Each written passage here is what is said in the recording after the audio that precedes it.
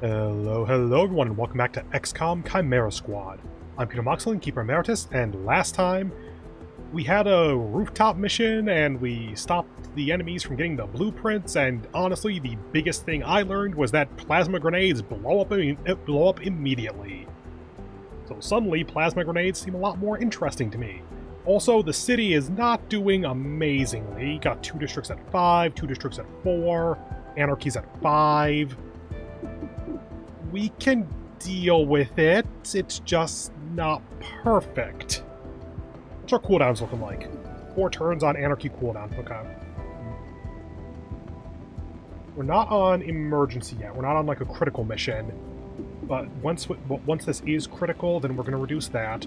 So reducing this is preferable then. We get one anarchy no matter what, as long as there's a district at 5. I'd say it's still worth to reduce this though, because there's nothing because there's nothing bumping it back up to five here, and that'll get this ability back on cooldown. So sure. There's that. You would go to, to two. And we only have this Okay, so we're gonna get 45 Elerium, one Anarchy, then this is gonna go then this is gonna go critical. That's basically how it's gonna work. Okay. Well, since now that I know that grenades are actually high... Right, alright, the, uh... Android, mech, whatever parts. Okay, so do I have plasma grenades or no? Not directly. Disorients units in a large area. Mobility and armor. Hmm uh, putting that on someone to go send it to, Ch to Cherub would be good.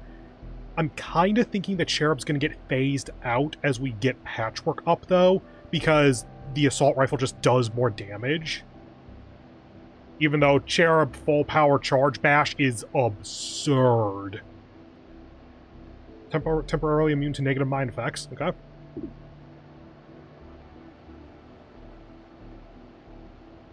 Okay, the ceasefire grenade, I think, is the breach item. That or it's the ceasefire bomb. Ah, ah, the bomb is the breach item, so the grenade is the non-breach item.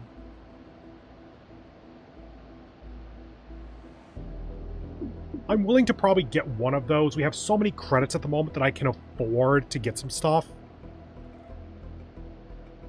Okay, so bombs are breach items, grenades are not. Got it.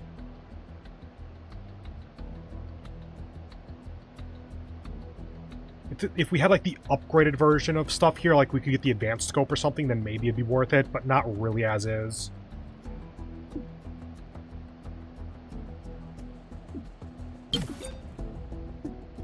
And you, uh, yep, grenade, good. Want to stay above like 200.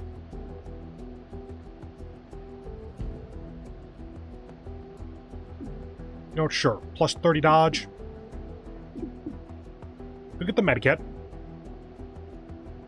If this takes the same slot as a grenade, then that's a reasonable thing.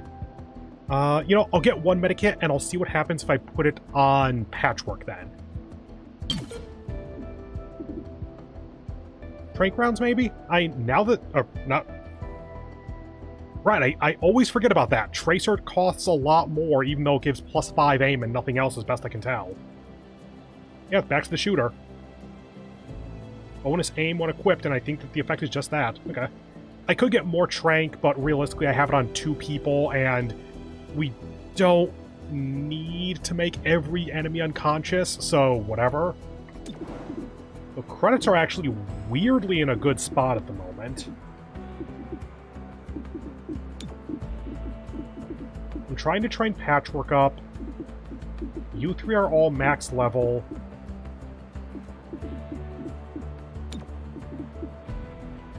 So I can do this.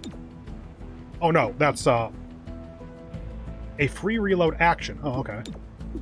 Mobility by 1, dodge by 15. No, sure, let's check out what the others have. Not have anything because you're too low level, so probably same for you. Basic conditioning, sure. This is what I was thinking of. Because we can do the Star Initiative for plus 20% XP. The question is whether I really want to do this or not, because if we're about to have Sacred Coil Part 2, I is it Sacred Coil? I think it is. Then having Godmother available to switch in might not be the worst idea. So you're the obvious one for this, so go ahead. And I guess that if we want to keep Godmother available for a moment so that we don't uh, have her working while we get the primary mission there, let's put you there for Elerium Sting, because Elerium's the only thing that we are at all worried about at this exact moment. Granted, 65 intel, we can spend pretty much infinite intel. Like, we can spend easily 70, quite possibly upwards of 200 intel on a single scavenger market, and then upgrading all of our various field teams is then solid. We have four days left here. What are we going for next? We're currently getting Mastercrafted Armor, so that's going to be probably a 250-ish credit sink right there.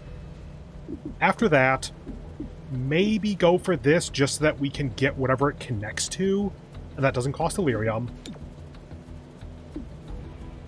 there is a reasonable argument for me getting the, the, machine guns up just that I can use SMGs and not have them feel like I'm just shooting a Nerf gun.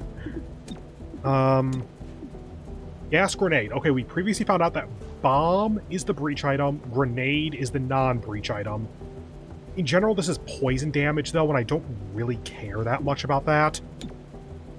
Now that I have a med kit, maybe upgrading it to nanomed is good advanced androids, and expert field teams don't really care about. So probably medkit then, and that's two cost. Or sorry, that's two days, zero Elerium cost. So sure, let's go ahead and put you in here with legwork for 65 intel then. Okay, then let's go ahead and get 45 Elerium out of this. Did I say 65 Elerium? I meant 65 intel. Whatever. Nothing else, so go ahead. Anarchy to six. Oh. First of all, uh, we got the our... here are worse than in training. We can fix the place up. I have some ideas. No hammocks. Never again. That was your own fault. That pipe wasn't load-bearing. You said hang it anywhere. I am not having this conversation. Yeah, uh, payday, so we got 40 credits, 85 intel, 20 Elerium, I'm surprised. What the fuck? Oh, duck. I was trying to figure out for a moment, why the hell are you not red? Right, I reduced your unrest. That's why. okay, the game's being kind to us and not putting a mission on any of our high unrest areas. I still think that we're about to get critical very quickly, though. Scavenger market open, good. So we're gonna go from six to seven anarchy, but then we're gonna do the mission. That's gonna get our. That's gonna make us stop getting anarchy. Not gonna lie, the Spec Ops anarchy down might be a solid option then, because clearing an entire faction is minus three anarchy. So we can do the Spec Op and that, and we'll still be at like one anarchy. So just maybe that kind of wastes wastes some time in terms of resource gathering, but I think that it's worth. And, it, and, it, and that should be something we can we might be able to do with patchwork even. Uh, let me check actually. Ooh, reduced unrest in all districts. That's actually quite solid. Requires one or more security field teams at rank 2. We have that. Okay. I wish I'd thought about that before. Special Agent. Which rank is Special Agent, actually? Uh, armory. You abilities. Okay, so Special Agent is rank 3. So we still only have our base uh, squad then. We're working on getting Patchwork up there. We need one more level up to unlock that. And the one I was thinking of was this, but that takes five time. As does that. Ugh. Yeah, five days as opposed to three, so we don't get quite as much resource gain, but it makes it so the anarchy go goes down by three, which, you know, not losing the game is a good idea for how to keep the game going. Okay, scavenger market. Okay, scavenger market, what you got for me? No extremely good items. or no like uh, unique guns. Superior scope. That is a solid option. Subdue damage by two. I really don't subdue very much at this point, so honestly, probably no. Advanced autoloader, I have at least one or two of those. If it was superior, then it'd be probably an instant buy. Superior scope, there's an argument to be made there. But given that we have two, given that we have 290 intel, I actually want to try to up our field teams more. I think that increasing to a bunch of level 2 field teams is going to be more useful than upping, uh, say, Verge from plus 10 to plus 15 aim. Missing shots has not been a significant issue recently. Granted, staying on top that might be for the best, but let's see. Can we tell what's level 1 and level 2? Upgraded 1. Probably anything that has this, like, this is filled in.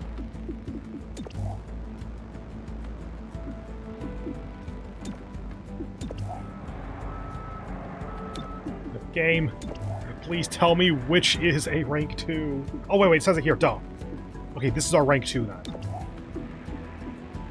So it's going to cost the same basically no matter what. What happens if I try to do this? Upgrading to rank 3 requires the Expert Field Team Assemblies pro like, uh, Expert Field Team's Assembly Project.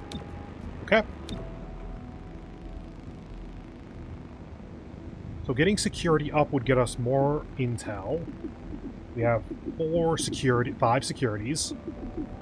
And it cost 120, was it? 110, 120, so it costs a little bit more for the upgrade version. 110, then goes to like 130 or something. We should be able to get two of these up to rank 2 then. And you know what? I'd say that's good enough. And specifically doing that where we are getting some high unrest seems like a good idea. And 55 is not enough for any of the non-securities because that requires 80. So we're probably just going to stick it out there for now. We want to freeze unrest.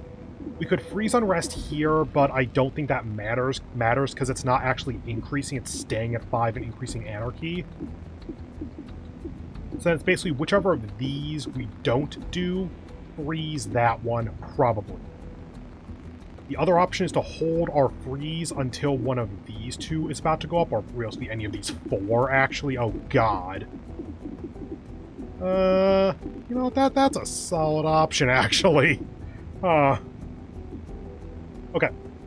We could get 95 intel or 50 Elerium. This is the only uh, field team ability that we don't have yet, and honestly, I don't care that much.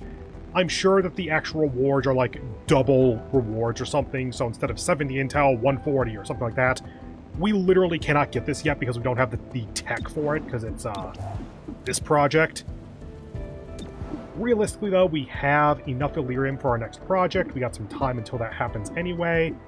So probably just go ahead and do the intel one so we can get more intel. Three on that, three on that. Can't do anything about that. Or can use this, but not particularly for a useful thing. Yeah, I think we just got our mission. Okay.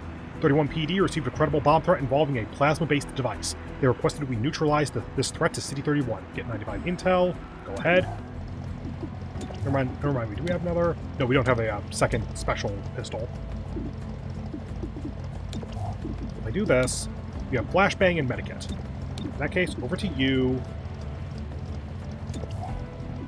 Take off plasma.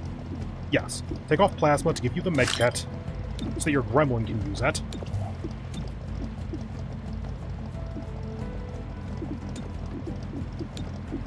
Can you not use the plasma grenade? Oh, it might just be second slot only.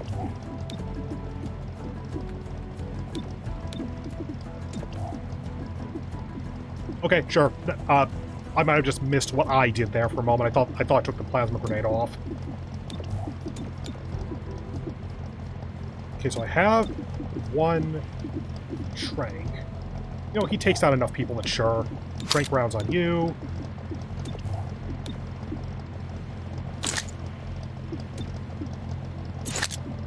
Oh, you can only have one grenade, huh?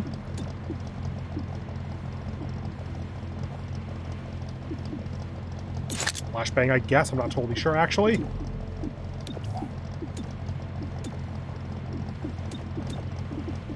Okay, all but one item slot filled out, and that's kind of because the stuff overlaps.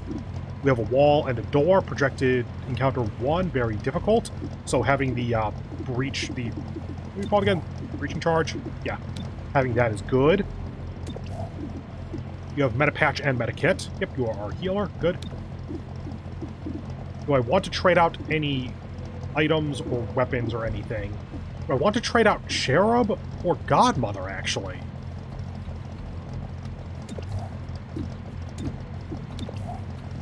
Uh, how do I do that? Um, there we go. I'm willing to give this a shot. Items available. Lonely Herald gets you run and gun. Reflex. Your stock for guaranteed 3 damage. I guess that'll make Ventilate guaranteed 9 damage then. Wait, vent, Ventilate is guaranteed to hit anyway. That trigger. You don't know, Superior Stock. I like getting guaranteed damage. Adrenal Weave, sure. Breaching Charge, because Cherub doesn't need to be the one that has that. And we have two Ceasefire Grenades, so I can only put one. I could take you off med. What happens if I take you off Medikit? Up, oh, nope, then the plasma goes away. You know what? You take plasma, ceasefire, and medikit. Sure, sure. I like putting damage on Godmother. Okay, so we still have Patchwork training up. Everyone else is max level, and we got some serious damage coming out of this too. Okay, I actually like that. Let's go. Operation Desperate Mask. Let's go. Got that? Good. Uh, door, but not keypad door. Yeah, I think we're good as, on, as is. Let's go. Oop. Oop.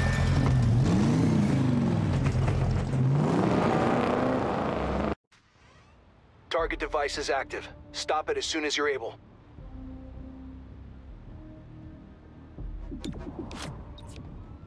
Guaranteed to land their shot. I meant. Everyone is going to be surprised. Okay. Let's go ahead. You. You. You. Combat scanner. Ceasefire. What happens if I reverse you? Can I... Not about not about a breach. Okay. In that case, target analyzer for the plus 50 crit. And we don't have a third one, so we literally can't put you on second slot for anything. Think we're good. Let's go. We're going in. Ready for breach?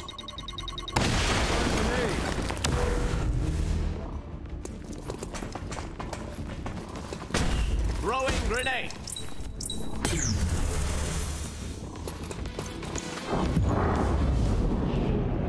Okay, so we have that.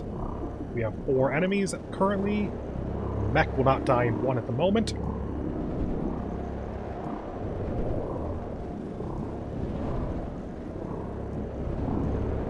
Want to take the 65.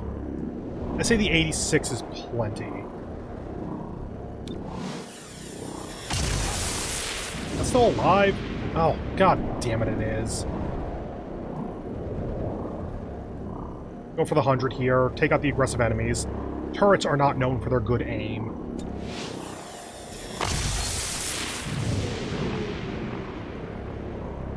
Alpha.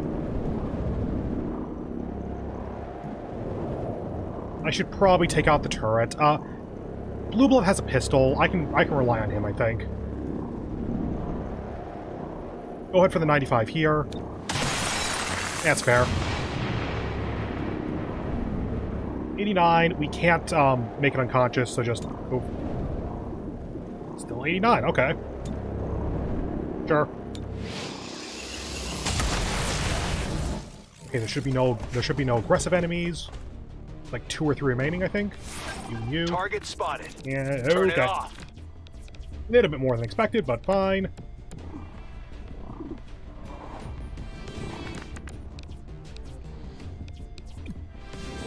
There's you.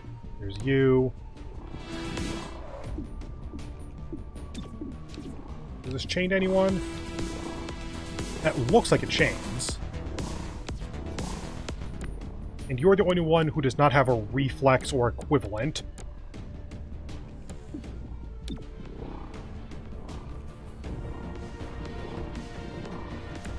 Okay, okay. Go for the big combo then. Wait. I think Blue Blood's the one with Modal Inducer. I'm really hoping I'm right about that. So on blue. Okay, so we're expecting that to chain.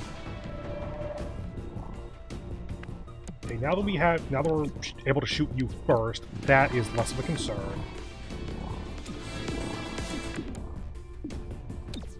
Wheel and turn. Okay, good to know. If we chaining Jolt here, this should do a lot of damage to the mech, and it looks like it does hit this guy. It's not perfect, but I think that's helpful, especially since especially since Blue Blood has face off. Blowing some fuses. Softened up. Not as much as I hoped for, but okay.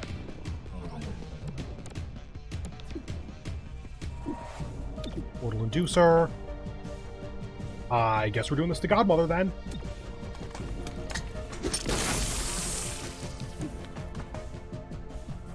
Immediately gains bonus crit and dodge, take an additional turn in three turns. How does that even work? you know what, sure. Overtime.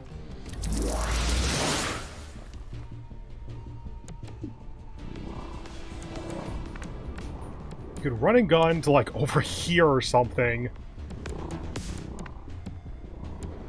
You have a reflex grip, so you can still shoot twice currently.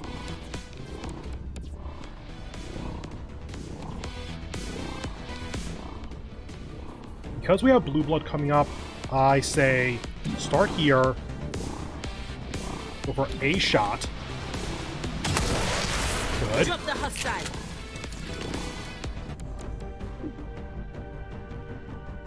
And we can only ventilate as our first action, apparently. Okay, noted. I thought we were going to be able to shoot, but I guess not. In that case, let's go ahead and do this to get rid of your cover. And that doesn't blow up the thing we need to interact with, so that's good. Throwing plasma.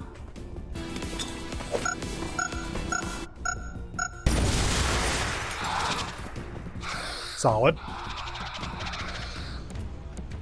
And there's our Alpha Strike action. I always forget about that.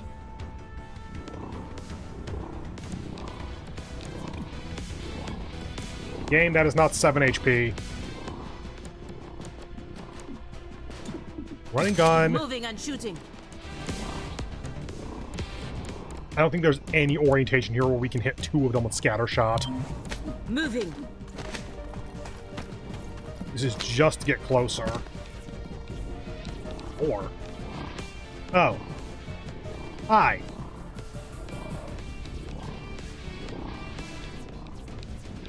Sure. Okay, got Just stock damage.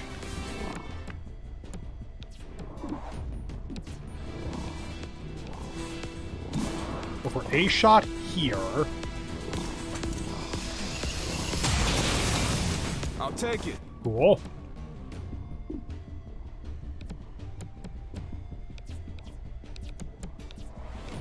Okay, those are the two that you can see, so let's go for face-off on two of them.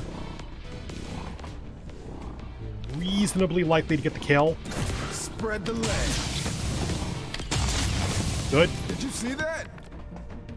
Okay, one enemy, four shots. I think we got this.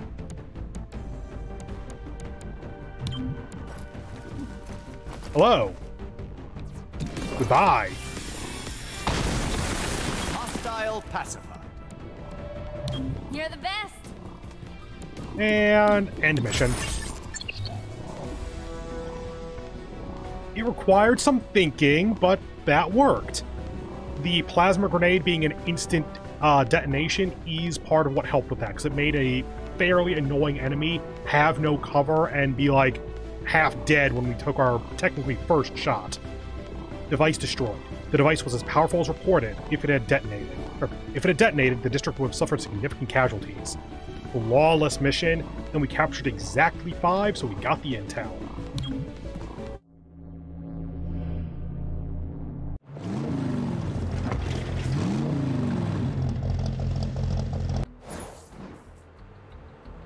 Anarchy to 7, Unrest in Old Town to 2, 95 intel, and plus 20 extra intel from the enemies. Claymore has completed training, basic conditioning. From the archives, Stay Out of Bugtown, a local's guide to City 31. The square was once full of shops selling the kinds of things that don't matter anymore. Advent converted it to housing during the occupation, but the city council decided to put a modern spin on an old idea. Check it out if you need old world memorabilia, sectoid kibble, and five kinds of pants on short notice. Critical mission. Hey, can I get a com check? Whisper. You checked comms 20 minutes ago. It's a daily task. I know, but I wanted to get ahead. Fine. Check, check. One, two, check. Can you hear me? Affirmative. Proper com discipline requires a loud and clear. We're done here. Uh, sure, that can work. Let's pick this up tomorrow. Yeah. Anyway, that's it for the mission, and that's the episode. So, if this video hasn't ruined your life, then go ahead and do what that YouTube stuff for a million times. I hope you have a wonderful, I hope you have a wonderful end of your day, and I hope to see you in the next one where we will take on Sacred Coil Part 2. You know, the mission that made me fail the first campaign. Because I couldn't kill enemies fast enough. Notice how I wasn't killing those enemies as fast as I used to? I am scared. I'll come back tomorrow to figure out if I absolutely mess it up. I'm not expecting it to be a full campaign ender this time. Uh, it might be a bit tricky, though. We'll, we'll see what happens. Anyway, see you in the next one. Bye.